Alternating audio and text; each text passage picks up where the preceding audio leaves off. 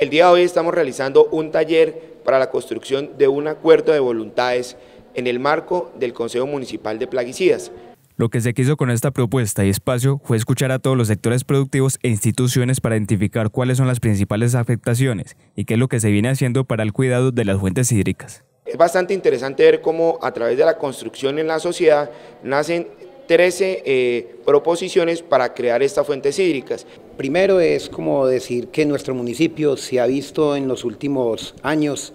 eh, en una depredación de nuestro medio ambiente por parte de las de los monocultivos eh, y en una inconsciencia de la utilización de los recursos agroquímicos. Un espacio para la formación que propicia la concientización de la responsabilidad que deben tener todos los sectores sociales, empresariales y públicos en el cuidado del ambiente. Eh, me parece muy importante que ya las instituciones como tal estén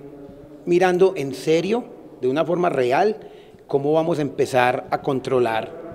eh, eh, estos, estos actos barbáricos en contra de nuestro medio ambiente. Invitaciones a los entes municipales como al Consejo Municipal de crear un acuerdo que nos permita darle piso jurídico a este acuerdo de voluntades del día de hoy a la Administración Municipal hacer rápidamente una actualización del Plan Básico de Ordenamiento Territorial y, por ejemplo, a de hacer un estudio de acotamiento de los ríos tanto Penderisco como Pavón. El acuerdo de voluntades para el cuidado de las fuentes hídricas de Urrao, como lo son el río Penderisco, Pavón, entre otras, nacen de la sociedad, pero serán refrendadas en la presentación de un acuerdo municipal al Consejo para que sean obligatoriedad cumplimiento en los siguientes años.